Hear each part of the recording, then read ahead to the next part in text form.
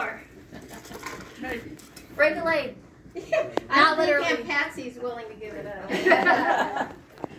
Okay, this is not a, a new poem. It's it's been around a while, but since it was Patsy. but this is an ode to Patsy Carroll on her birthday. It says, I wanted to write to you, Patsy, and convey best wishes on another historic birthday. And Mary Margaret told me it would be okay as long as I could find something positive to say. So I'll say nothing about your meatloaf mess that you burnt to a crisp but served nevertheless.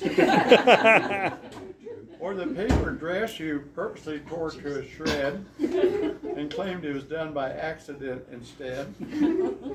Let's not discuss what all your friends dr- think when at parties you steal their cocktail drink. no, none of these embarrassments I will discuss. I won't even mention the Buena Vista toilet fuss. Thank you. Or the night I thought you were going loony, hunting bugs in that cabin with Mary and Booney. I'll not dwell on this, but most thought it uncool when you forgot baby Mo at the swimming pool. I'll discuss none of those things. No, not today. Because you just try to explain them away. You'll defame your brother-in-law with false accusation, which will distract from your birthday celebration.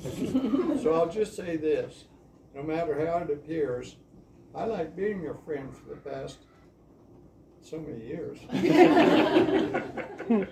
and then I just had, I had, did add this little PS, this is for the benefit of all the folks here on Patsy's celebration. To Patsy's friends and family, don't hesitate to ask Patsy for clarification on, on any of these accusations. But please give her a day or two to think up something plausible and reshape the story to her liking.